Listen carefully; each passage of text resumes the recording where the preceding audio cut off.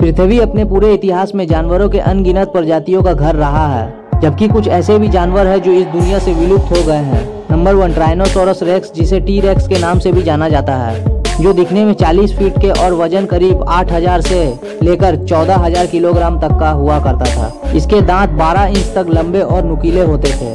Number two टाइटोनोबोआ यह अब तक का सबसे बड़ा सांप माना जाता है, जिसके सामने एनाकोंडा और कोबरा जैसे सांप भी कुछ नहीं थे। जिसकी लंबाई करीब 40 से 50 फीट हुआ करती थी। Number three, megalodon shark. यह एक बेहद ही खतरनाक और बड़ी शार्क हुआ करती थी। हैरान करने वाली बात यह है कि जो लंबाई में करीब 60 फीट तक और वज़न करीब पचास हज़ार किलोग्राम का था, इसे समंदर का राजा भी कहा जाता था। इसका भोजन वेल और शार्क जैसी मछली हुआ करती थी। नंबर फोर मेमत हाथी। उत्तरी अमेरिका, यूरोप और एशिया जैसे जगहों में पाए जाने वाला यह एक बड़ा और विचित्र जानवर था।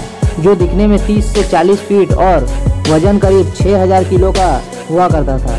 इसके लंबे सूंड शिकारियों से बचने और बर्फ़ के नीचे से खाना निकालने का काम करते थे। माना जाता है कि ये हाथी दस हज़ार साल पहले ही विलुप्त हो चुके थे। Number five, smilodon. यह एक बड़ी शिकारी बिल्ली थी, जो उत्तर और दक्षिण अमेरिका में रहती थी। इसके इतने खतरनाक और भयानक होने का कारण इसके दो नुकीले दांत है, जो सात इंच तक लंबे होते थे, जिसका यूज़ घोड़ों और जिराफ जैसे बड़े जानवरों को मारने के लिए किया जाता था। ये अपने समय के सबसे खतरनाक और खूंखार जानवर हुआ करते थे, जो आज से लगभग दस हज़ार साल पहले ही विलुप्त हो गए थे।